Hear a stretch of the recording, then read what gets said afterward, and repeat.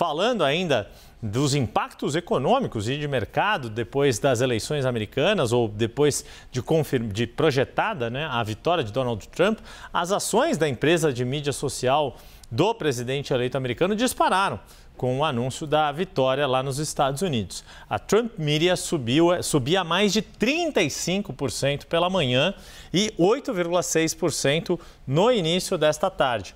As ações agora estão sendo são negociadas a 36 dólares e 82 centavos.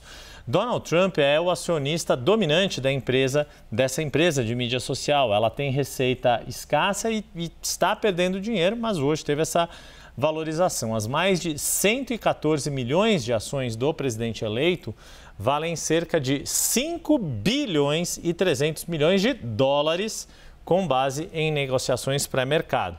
Mas a gente lembra que esses são apenas ganhos no papel e na prática. Seria difícil para Trump vender muitas dessas ações sem fazer com que isso alterasse o preço, sem com que, fazer com que o preço despencasse. Durante meses, a Trump Media serviu como um indicador de como os traders achavam que a eleição terminaria. E aí acabou, de fato, com a vitória de Donald Trump, Débora.